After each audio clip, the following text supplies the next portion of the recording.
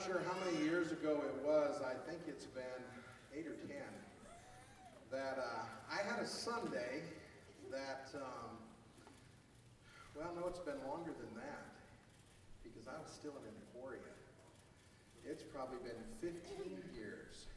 I had a Sunday and I couldn't find a pastor to preach. Had to be gone and called the DS and he said, well, there's this guy in Hutchinson who grew up on the mission field and, and he's an ordained elder and he works at the prison and uh, he loves to preach and you could probably call him and he'd come. And so I made a call to uh, Phil Torgrimson years ago, long years ago. And Phil came and um, my folks in Emporia said, you know, if you left, he, he could stay. That's a scary thought. That's a scary thought. And uh, when Pastor Diego left us this last year, we began a, a, long sojourn trying to figure out what God had next for our, our Hispanic uh, service. And uh, for a while, we used our, our pastor over at Junction City, and the Lord kept speaking, saying that I have someone, but he wouldn't tell me who. And one night, uh, I was sitting at home in my study and, and just praying about the situation and said, you know, Lord, it would be nice if you would let me in on your plan. And he did. And I picked up the phone and I called Phil and I said, Phil, do I have an opportunity for you? We hate it when we get calls like that as pastors. But Phil and his wife Sherilyn came and, and uh, spent some time with our Hispanic brothers and sisters, and I think they have just all fallen in love together. And it's been a great thing. And this is really the first time you formally get to meet uh, Phil and Sherilyn. Uh, she is seated right back here. Sherilyn, if you'd stand. And Phil, we're going to welcome Phil to come and preach this morning, but would you just welcome him to our church family? Now here's, here's the fun part. You're going to get to experience a pastor's worst nightmare. He gets to speak in two languages today. Are you ready for that? we don't mind having someone translate for us, but when you have to translate yourself, it's scary. Yes. Now they will know if you don't say what you said. True. Because see, that's one of the things when you're, tra- you're preaching through a translator, you never know if they said what you said. They will know if you're not telling the whole story. True. So God bless you. Thank you. Thank you. Well, if you have your Bibles, you can turn to 1 Kings chapter 18, and we'll be looking at verse 21.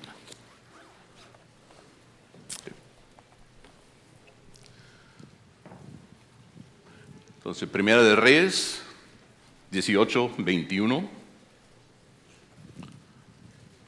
Y como no supe que iba a traducir por mí mismo, no traje mi Biblia bilingüe, entonces no lo voy a tener en inglés. And so I didn't bring my Spanish English Bible, so I'll be reading it in Spanish. You can read it in English. I'll, that'll, that'll serve as a translation. ¿Sí? Ok, ¿todos lo tienen?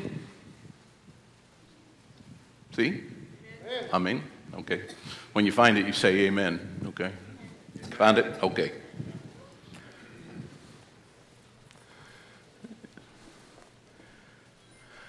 Elías se presentó ante el pueblo y dijo, ¿Hasta cuándo van a seguir indecisos?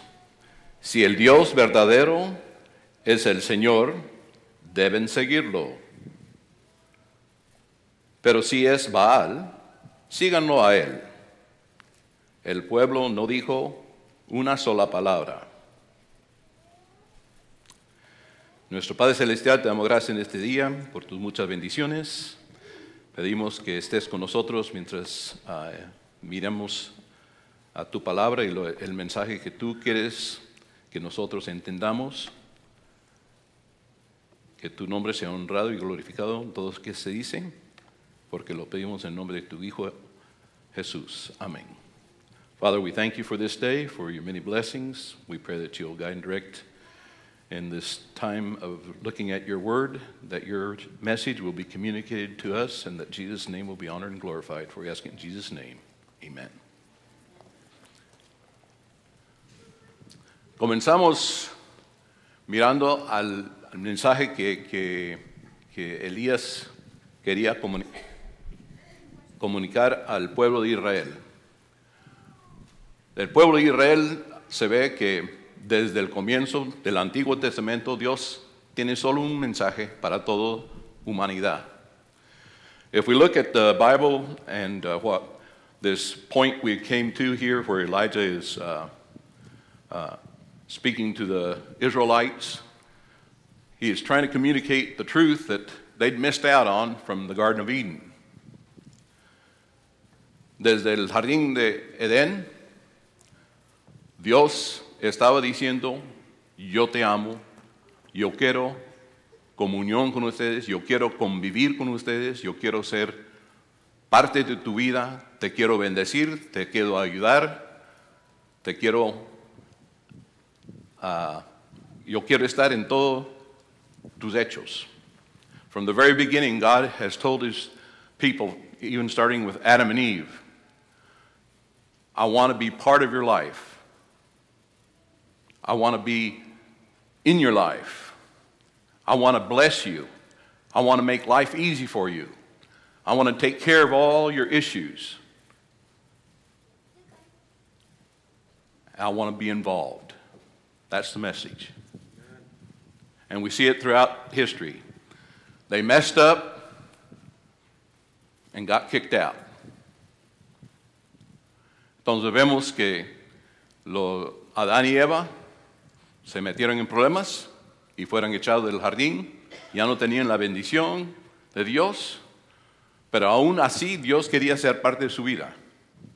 Entonces vemos más adelante que Él escoge a Noé para que Él predicara el mensaje de arrepentimiento y no lo querían escuchar.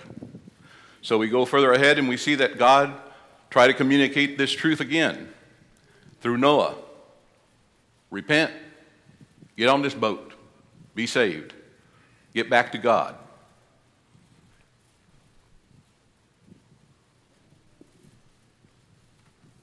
But they listened to Frank Sinatra and did it their way Hmm.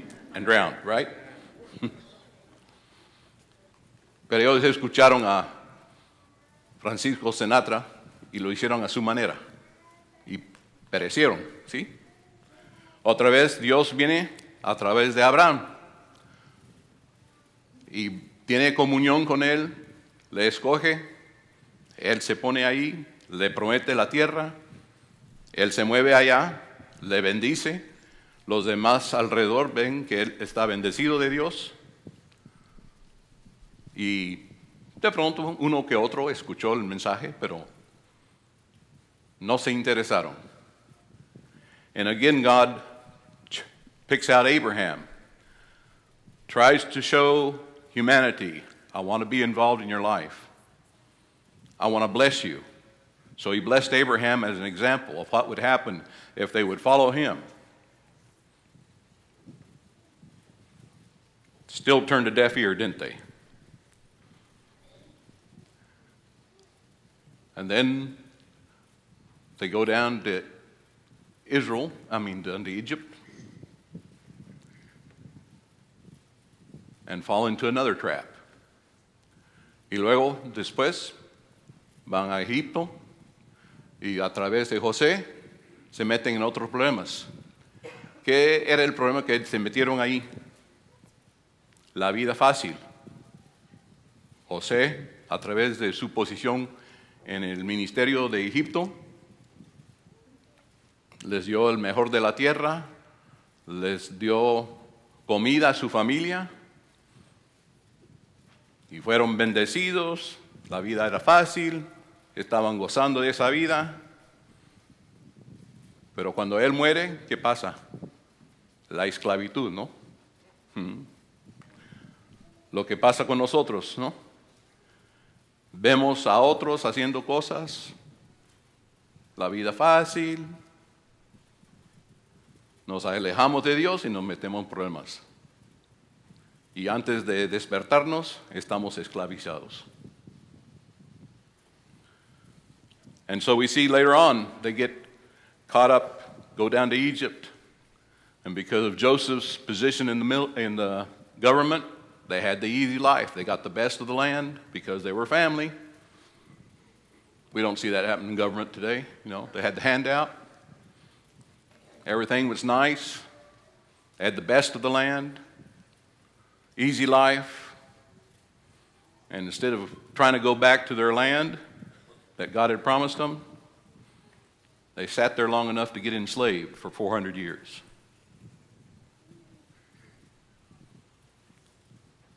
Después de 400 años, recuerdan el Dios de Abraham, el Dios de Isaac y el Dios de Israel, y comienzan a clamar. Y Dios les escucha, les manda Moisés, los saca de, de Egipto y regresa- van de rezo a la tierra prometida. And you'd think you'd remember sooner than 400 years, but it took them 400 years to start praying to God of their father Abraham, Isaac, and Jacob. And God answers the prayer and gets them out of Egypt. Now, I know that we've all seen the movie, and Charlton Heston out there is Moses, and they cross the, the Red Sea pretty quick, don't they? But they estimate that there was probably about 3 million people, about the population of the state of Kansas, going across there. Somebody did the math, not me. If you put people in rows of 50 at a regular walking pace, and that's not including the carts, you know, all the stuff that mom can't leave behind. We've been there, haven't we? Can I get an amen? Okay.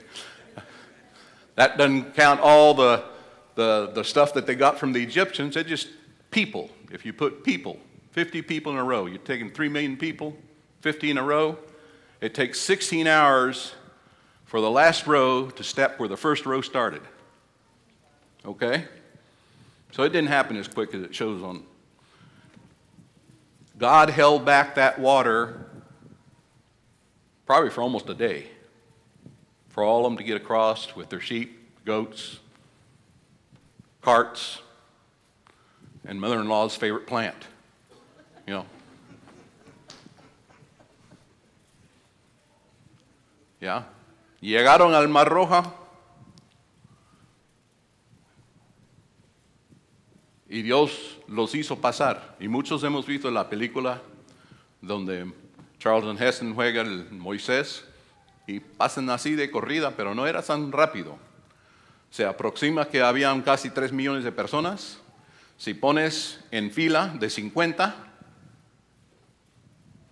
todas esas personas, sin contar las carretas, los bultos de, cosas caseras, ni el ganado, toma 16 horas a paso normal para que la última fila pise donde comenzó la primera fila. Entonces, no era así de rapidito que cruzaron el Mar Rojo. Dios mantuvo milagrosamente esa agua por casi un día para que pudieran pasar. ¿Cuánta comida se consume en el estado de Kansas? ¿Cuánto agua beben? Sin hablar de ganado, pero ¿cuánta gente? Así nomás, lavando la ropa. ¿Cuánto? ¿Tienen idea? Es bastante, ¿no? Y Dios les dio todo eso en el desierto, donde no hubo nada. Pero cuando llegan a la tierra prometida, no, que esos gigantes son muy grandes. No podemos, después del milagro que Dios había hecho. Diez de los hombres que fueron, "Nah, es muy grande, no se puede. Se echaron para atrás. After all this miracle, Has anybody got a figure about how many, how much groceries we eat here in the state of Kansas, or water we drink and do laundry with? Not even taking showers, but just that much. God provided all of that for them, all the way up to the promised land. They get up to the promised land, and 10 out of the 12 say, hmm, Those guys too big. Now, you would have thought, after they crossed the Red Sea, after they had all that food provided for them, yeah, we can do this with God's help. Hmm. And how many of us do the same thing? God's saying, I want to bless you. I want to do things for you. I want to help you. I want to do great things through you. And we get up to the promised land. Ah, you can't do it. No, we can't do it. But He can. He can. But we stop there, don't we? We always stop short of the miracles He wants to give us. We don't hear clearly what He says. I love you. I want to be part of your life. I want to be in there blessing you. I want to provide for your needs. Doesn't mean there won't be hard times. I don't imagine it was too much fun walking across desert land. I don't imagine it was too much fun having to adjust to live in tents all of a sudden after living in a house. Or go looking for firewood to cook with.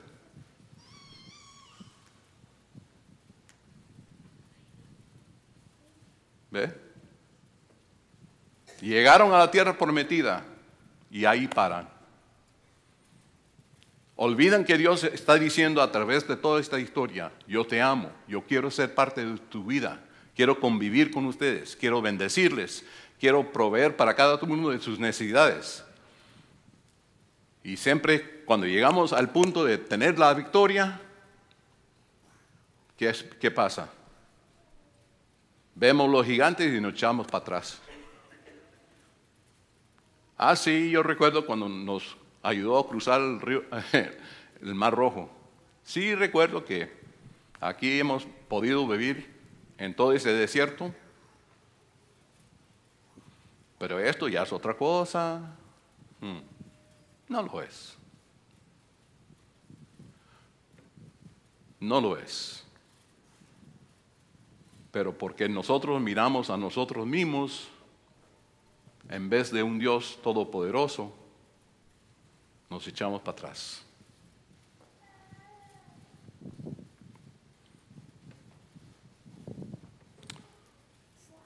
¿Y qué pasó?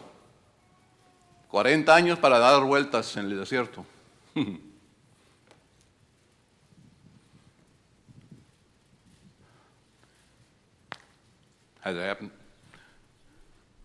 ¿Te ha ocurrido a ti también en tu vida? Te echas para atrás y entonces comienzas a dar vueltas. Sin rumbo. Happens, doesn't it? We get up to the line of victory, we step away, we end up going around in circles. They did for 40 years.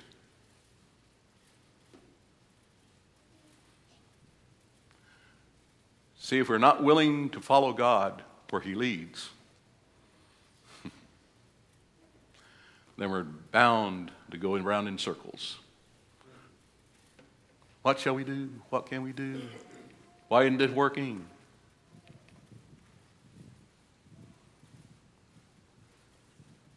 ¿Qué vamos a hacer?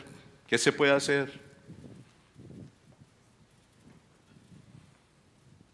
¿Te imaginas dando vueltas en el desierto? Aburridísimo. Ah, el mes pasado pasamos por ahí. no, que esta comida,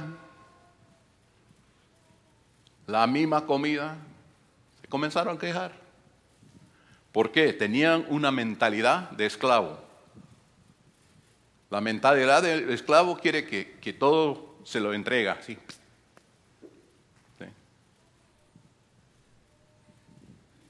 Y eso fue lo que, les echaron para atrás. Cuando uno tiene la mentalidad de esclavo, no quiere tomar la responsabilidad por uno mismo, no quiere seguir adelante aunque Dios le está guiando, siempre se mete en problemas. And we see this repeated in life. When we are not willing to take responsibility and move forward when God tells us to move forward because of our slave mentality, you need to make it easier for me. You know, I don't, I don't want to go cross unless I have a Sherman tank. Hmm. I don't have the newest vehicle. I don't have a shiny new Bible. I can't go tell anybody about Jesus. Mine's all torn. Slave mentality. Slave mentality says any excuse will do if I don't want to do it, right? Doesn't matter how silly it sounds. God had taken them out of Egypt. God had provided for them all this. And God wants to do the same for us. And the message is still the same. I love you. I want to be involved in your life. I want to do miracles through you. And they get up to this point that we read today. Y llegamos a este punto que acabamos de leer hoy. Y el pueblo ya ha pasado a la tierra prometida, Dios les ha bendecido, pero comienza a hacer cosas a su manera, manda un juez, se arregla la cosa, muere el juez, otro problema. Hasta el fin dice, no, no, ahora queremos un rey, queremos vernos como los demás de países. ¿Sí? Y siempre perdiendo de vista que Dios quiere una relación personal y Él quiere que nosotros seamos responsables personalmente ante Él. ¿Sí? Ellos quieren dar excusas. Siempre la otra persona, desde Adán y Eva, siempre la otra persona. Mira lo que la mujer que tú me diste, ¿sí? el culebra que, que vino, pero nunca yo tengo la culpa. See? They missed out on the whole point. God wants personal responsibility. Even with Adam and Eve, what was Adam's response? The woman you gave me, hey, it's your fault, God. The woman you gave me, the snake that you put in the garden, But he wants us to take personal responsibility for our actions. It was never my fault, right? But until we come to the point where it's my fault, things never get straightened out, do they? See, the hardest words in any language is, I'm sorry, I was wrong. we don't like to say those, but they're some of the most important words in any language. I'm sorry, I was wrong. Okay. ¿Sí? No queremos tomar la responsabilidad, queremos echar la culpa a otro. Y las palabras más importantes en cualquier idioma es, yo estuve en error, perdóname. Fue mi culpa, perdóname. Yo hice mal, perdóname.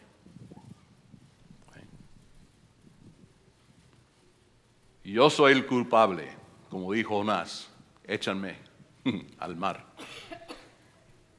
Sí.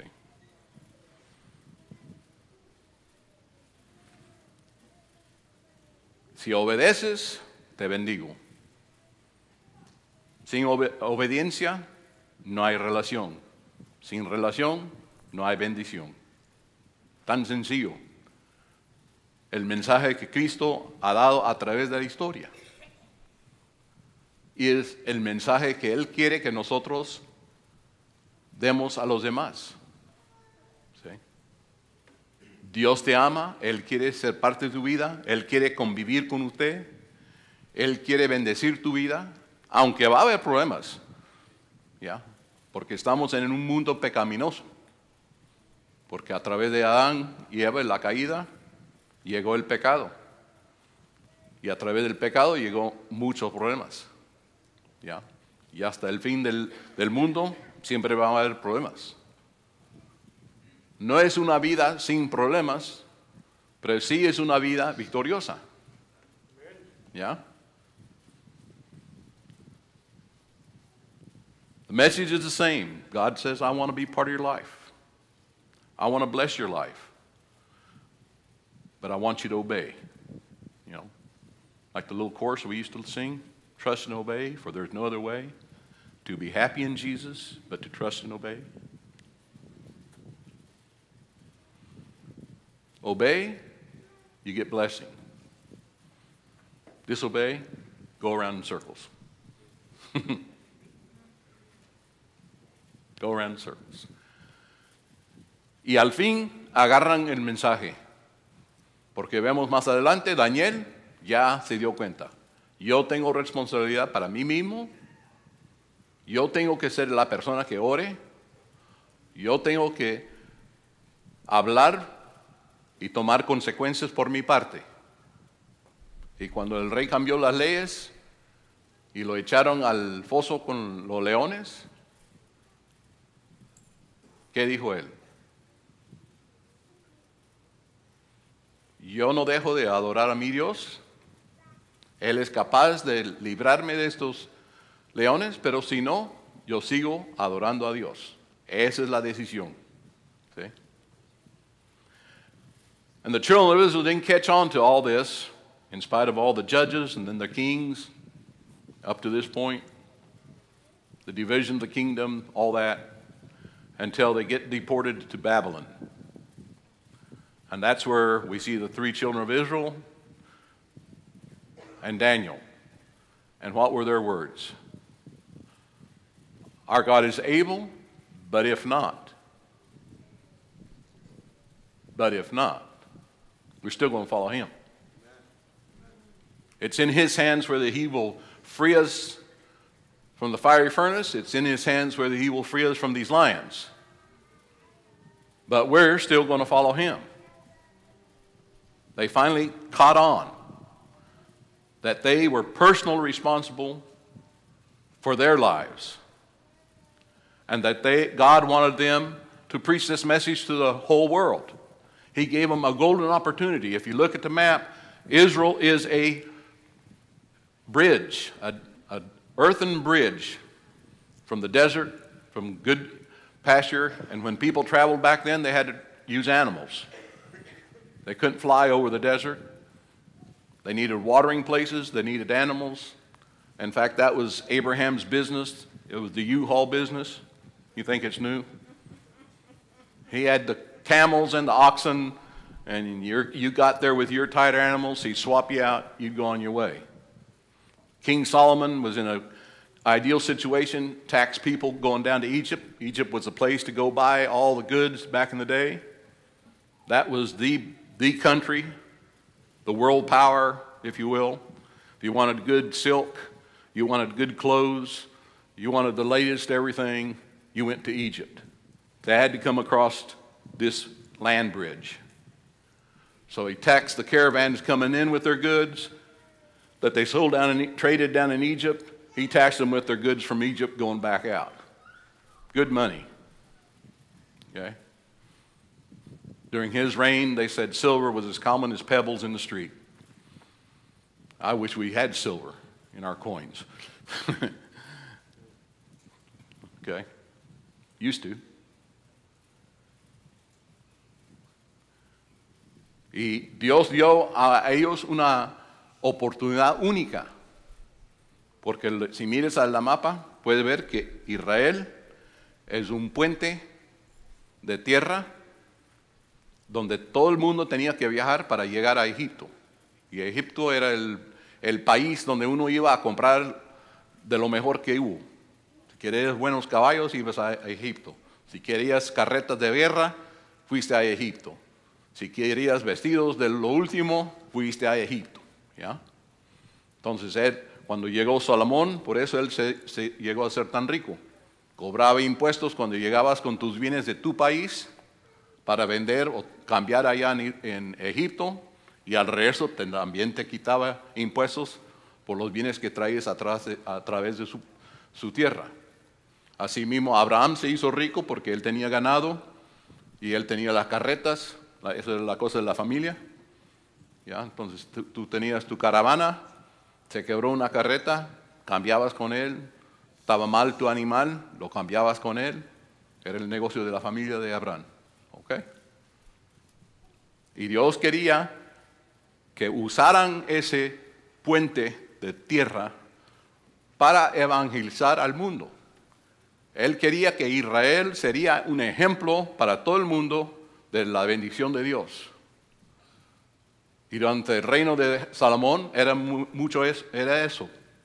La gente veía, pero los israelitas no querían convivir con los demás, se separaron. La separación de que Dios estaba hablando era separación de la manera en que ellos vivían, no de, de persona. And so the Israelites missed out on this great opportunity to evangelize the world. They were a billboard of God's blessing. That's what He intended for them to be. They could have evangelized the whole world, that God blesses those who obey Him, follow Him. They had the whole stretch of country to prove it. But they missed they missed it because they wanted to keep it for themselves. Yeah. You and me. Us three. Me twice. You know. yeah. And how many times in church we've shut out people? Uh, they don't dress like I do. Or they dress too fancy.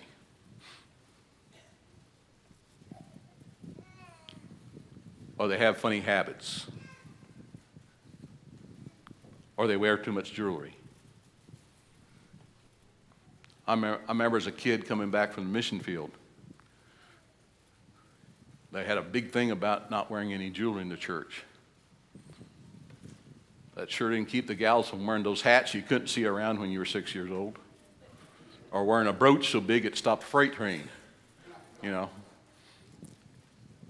Okay. We always get around it, don't we? It's a non issue.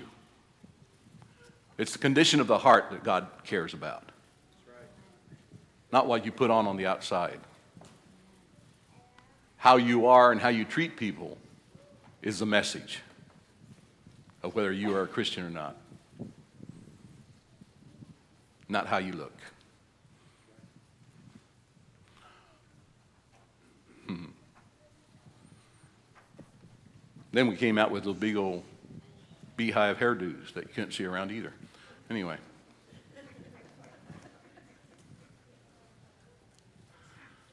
Muchas veces cuando yo regresaba de niño a los Estados Unidos, cuando tuve seis años, en aquel tiempo tenían la iglesia, pues el pensamiento era bueno. El pensamiento era que si tenías dinero para joyería, lo debes de invertir para evangelizar al mundo. No debes de estar poniéndolo en tu persona. Entonces, muchas personas no, no, no, no tenían ah, anillos ni, ni ah, aretes, por esa razón, ni collares, ¿ya? Pero siempre usaban esos sombreros grandes en la iglesia, bien, bien bonitas, ¿no? Como- pero de niño uno no podía ver el predicador por los, los, los sombreros grandes. Y también ponían una, un pendiente aquí en, su, vestido, que era grandote, que uno no, lo podía perder, ni podía mirar a otra cosa porque era tan grande. Entonces vemos que esas cosas son, no tienen importancia. Lo que tiene importancia es nuestro corazón. No cómo nos vestimos, es cómo nos tratamos. Es el testimonio de la iglesia. Si estamos tratando a las personas con amor, con cariño, si nos preocupamos por sus necesidades, eso es el reflejo del amor de Dios. No el carro en que manejamos, ni el vestido en que nos ponemos. Vemos que nos da el mismo mensaje otra vez y otra vez, hasta en el Nuevo Testamento, en, en uh, Juan 3:16. Ya conocemos ese versículo que dice, porque de tal manera amó Dios al mundo que dio a su Hijo unigénito, para que, ¿quién? Todo aquel que cree en Él no se pierda, mas tenga vida eterna. ¿Sí? And so we see God repeating the message. John 3:16. For God so loved the world that he gave his one and only son that whoever believes in him should not perish but have eternal life. Doesn't say you have to have a last name of Smith, does it? Doesn't say your last name has to be Rodriguez. Whosoever. That includes Torgerson. Whosoever. That lets me in. Whosoever. And that's the message God has been trying to tell people from Genesis all the way to Revelation. Where in Revelation 3:20 it says, "I stand at the door and knock. If any man hear my voice and open the door, I will come into him and will sup with him and he with me." That's in a nutshell. First John, no, St. John chapter 1, verse 1. In the beginning was the Word, and the Word was with God, and the Word was God. That means that at creation, Jesus was present. At the Garden of Eden, Jesus was present. And he made the decision all the way down through history to reach out to man, to restore man to that fellowship. God crying out, I love you. I want to be part of your life. I want to be involved in your life. I want to help you. I want to bless you.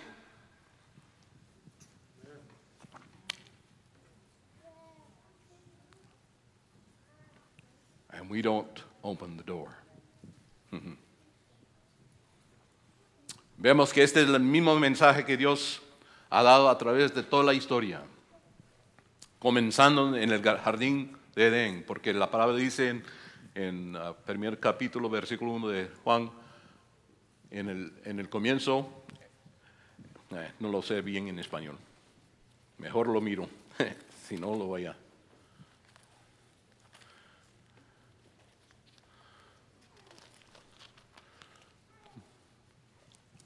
Lo hago mal y después no me pagan. En el principio ya existía el verbo y el verbo estaba con Dios y el verbo era Dios. Esto está hablando de Jesús.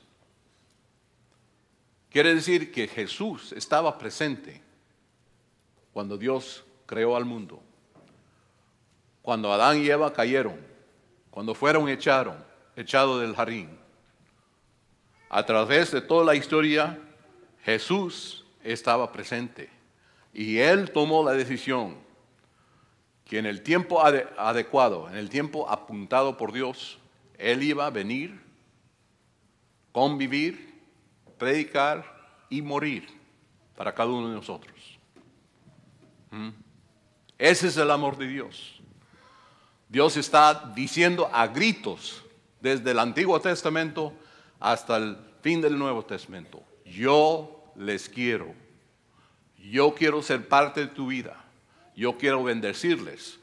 Yo quiero estar con ustedes a través de sus problemas y a través de tus, tus, tus uh, victorias. Yo quiero ser parte de tu vida. A gritos. Y nosotros, no. Yo quiero hacerlo a mi manera. Y perdemos. Nosotros somos los que perdemos. We're the ones that lose when we don't listen to his loving call. I want to be part of your life. Let me in. I'm knocking.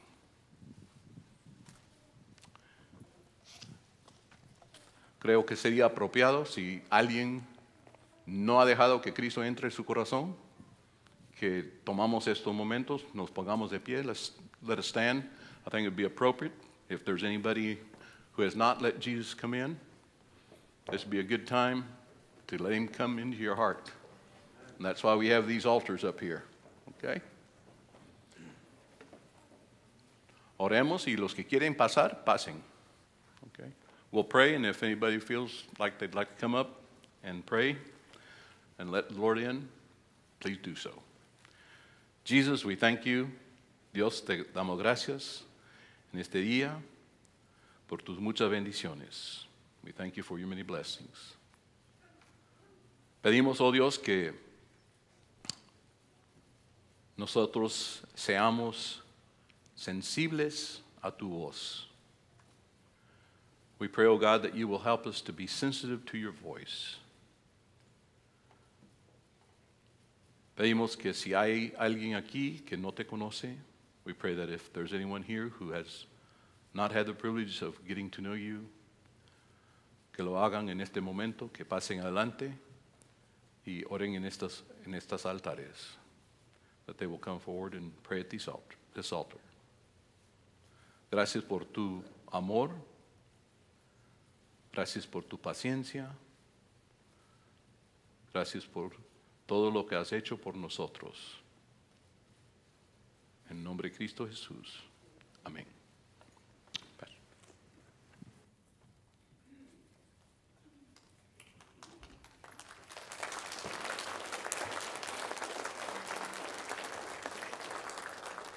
Thank you, brother, for sharing with us. I want to invite a number of our ladies. I know Marilyn is kind of helping with this, and Joy will as soon as she shuts down our live feed. But if a number of the ladies would like to slip out and go start getting food out, that would be a huge help. Some of you guys want to go with, uh, they have stuff to carry, that'll help as well. What we're going to ask you to do is to go around and go ahead and find a place in the fellowship hall. And when everything's ready to go, we'll ask the blessing. Actually, I'm going to ask the blessing here on the bill, and we'll just dismiss you to go get food then, okay? So pray a word with me. Father, thank you so much for your love and presence this day in our lives. Thank you, Lord, uh, for the word and that incredible reminder, Lord, that your desire is to dwell in us. And the invitation that you give, Lord, is an invitation upon which we have to act. It's, not just going to happen, we have to act. So call us, we pray, and help us to respond. Thank you, Lord, for the opportunity we have now to fellowship together. Bless the food and our families, and help us to have a glorious afternoon and back together tonight, Lord, in our service at 6 o'clock.